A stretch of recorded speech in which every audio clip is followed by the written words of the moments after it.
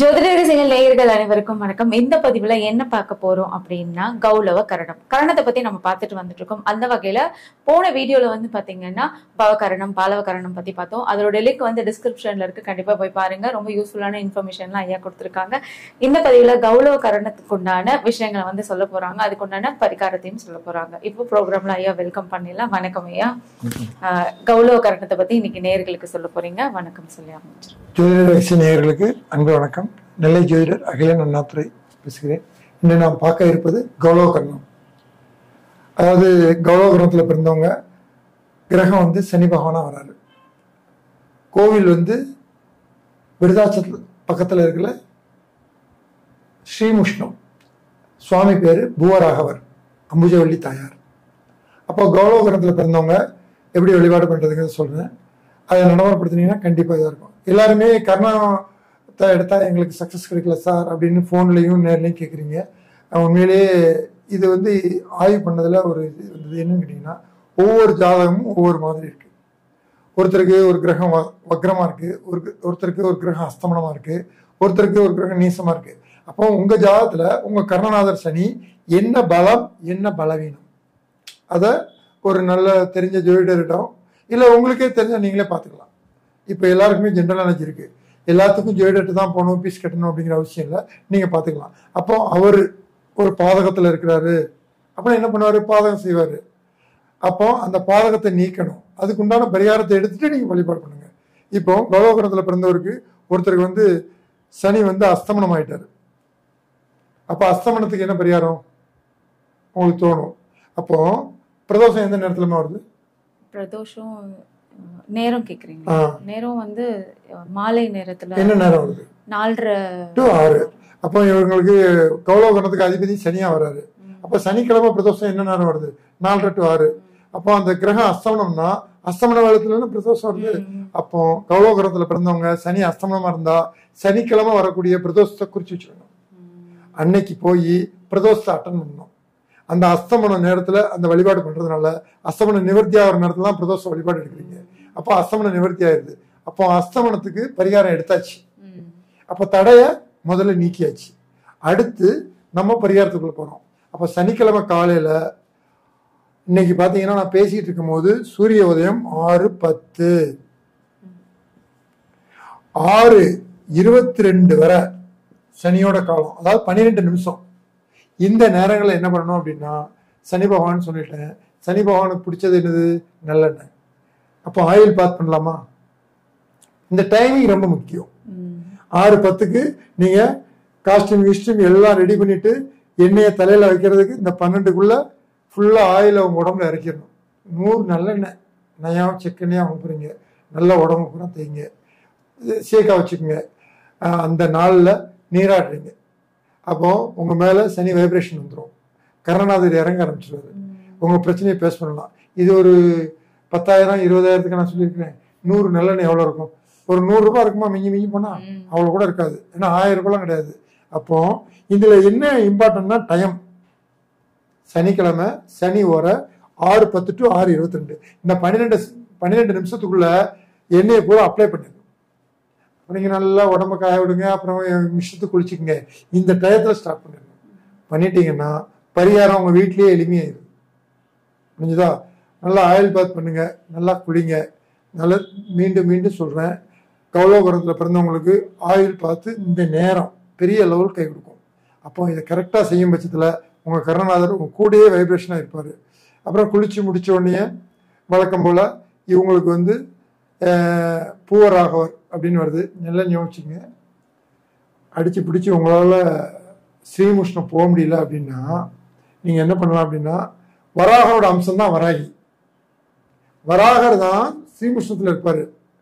வராகி எல்லா சிவநாளத்திலையும் இருக்கும். அப்ப நீங்க அங்க போய் வழிபாடு பண்ணலாமா? இதுக்கு என்ன தேவை? நம்மளுடைய கௌரவ கர்ணமும் சனிக்கிழமையும் சேரணும். இந்த நாளை எடுத்துட்டு போய் அம்மா நான் நினைச்ச உடனே ஸ்ரீமுஷ்ணம் வர முடியலம்மா. அவ்வளோ அளவுக்கு என்கிட்ட வசதி இல்லை. என் வீட்லேயும் லிஸ்ட் கிடைக்கல. அதனால வராகி உங்களை வந்திருக்கேன். நீ இந்த கர்ணத்தில் பிறந்திருக்கிறதுனால நீங்க தான் என்னை வழிபடணும் அந்த வராகி அம்மனுக்கு மாதுளை முத்துக்கள்னா ரொம்ப பிரியம். ஒரு மாதுளை வாங்கி உடைச்சி அந்த முத்தை எடுத்து போய் அவங்களுக்கு வச்சு ஒரு அர்ச்சனை பண்ண சொல்லி அந்த பிரசாதத்தை நீங்கள் சாப்பிட்டீங்கன்னா அவங்க குளிர்ந்துருவாங்க. அப்போ எளிமையான முறையில் நீங்கள் வழிபாடு பண்ணலாமா? கௌரவபுரத்தில் பிறந்தவங்களும் நல்ல வாழ பிறந்தவங்கள. ரொம்ப முக்கியம். கௌரவபுரத்தில் பிறந்தவங்க ஒவ்வொன்றும் செய்ய வேண்டியதுன்னு சொல்லிட்டேன் அவங்களுக்கு அதிபதியே சனின்னு சொல்லிட்டேன் சனினா யார் அப்படின்னா தொழிலாளர்கள். நமக்கு கீழே வேலை பார்க்குற தொழிலாளர்கள். இப்போது ஒரு ஹோட்டலுக்கு போகிறீங்க சாப்பிட்றீங்க எல்லாரும் பத்து ரூபா கொடுத்தா நம்ம இருபது ரூபா கொடுக்கணும். அந்த தொழிலாளி அவர் தானே நம்ம அமைப்பு. சனி பகவானோட அம்சமே யாரு? தொழிலாளர்கள். அப்போ நமக்கு இருக்கிற கீழே இருக்கிற தொழிலாளர்களுக்கு ஒரு வேலை வாய்ப்பு ஒரு மற்றவங்க கொடுக்கறத விட கூட கொஞ்சம் சந்தோஷப்படுத்துறது.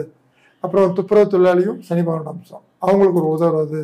அப்புறம் உடல் ஊனமற்றவர்கள் தெரியுமே? அவங்களும் சனியோட அம்சம். இந்த மாதிரி ஆட்களுக்கு ரொம்ப முக்கியம் என்னென்னா அந்த கருணாநிதி. நீங்கள் பாட்டுக்கு சொன்னோடனே எடுத்தவங்க ஒருத்தம் செய்யக்கூடாது. அந்த கரணமும் சனிக்கிழமையும் சேர்ந்து வந்து இதை செய்தால் அவங்களுக்கும் நன்மை அவங்களுக்கும் நன்மை. அப்போ வழிபாட்டோட கோடுவேட நான் கொடுத்துட்டேன். இதுக்கு நீங்கள் ஸ்ரீமுஷ்ணம் பண்ணுமா? ரெண்டாயிரம் போகிறதுக்கு ஆயிரம் வர்றதுக்கு ஆயிரம் அங்கே போய் அபிஷேகம் பண்ணணும் அப்புறம் திருப்பி சாப்பிடணும் ரூம் எடுக்கணும் இதெல்லாம் நீங்கள் கற்பனை பண்ண வேண்டாம். ஒரு திருப்பி போயிட்டு இப்போ மறுதிருப்பி போகவே மாட்டீங்க. வார வாரம் சனிக்கிழமை நூறு நல்லெண்ணெய் வாங்குங்க. டயத்தை எடுங்க. நல்லா அரைக்கி தை குளிங்க. உங்க ஊர்ல இருக்கிற வராகி அம்மனை சனிக்கிழமை கருணம் கிடைக்கலையா? சனி ஓர. அதெல்லாம் ஞாபகிங்க சனிக்கிழமை சனி வரையும் மூணு நேரம் வரும்.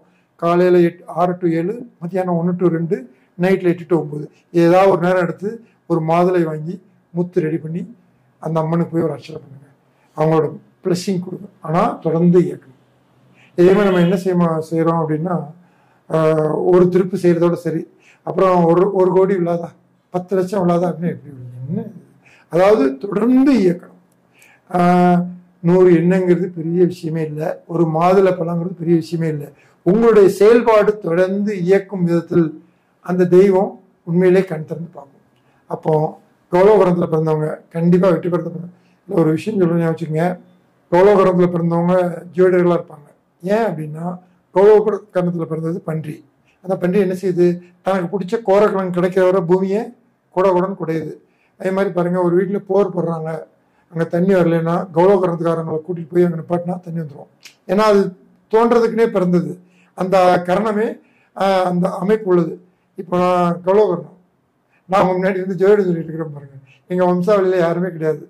அப்படி இருந்தும் எங்கள் தாத்தா எங்கள் அம்மாவோட அப்பா இருந்திருக்காங்க. என்னுடைய பிரதர்ஸ்லாம் கிடையாது. அப்படி இருந்தும் ஏன் இந்த ஜோடத்தில் ஈடுபாடு கொடுத்ததுன்னா ஆராய்ச்சி மனப்பான்மை கொண்டது என் கரணநாதர் கௌரவகரணம் அந்த இது வந்துச்சு பார்த்தீங்களா அப்போ கௌரவகரணத்துல பிறந்தவங்க சயின்டிஸ்டாவோ ஆராய்ச்சியாளர்களாவோ இல்லைன்னா ஜோதிடர்களாவோ இல்லை டாக்டராவோ இப்படி ஏதாவது ஒரு விதத்தில் அவங்க கெமிக்கல்ஸ் இதெல்லாம் இது அந்த மாதிரியோ இந்த மாதிரி நிறைய இருப்பாங்க. இதுக்கு காரணம் கௌரவகரணம் தான். அப்போ கௌரவகுலத்தில் பிறந்தீங்கன்னா இந்த எளிமையான பரிகாரம் செய்து நீங்களும் வாழ்க்கையில் முழு வெற்றி பெறலாம்.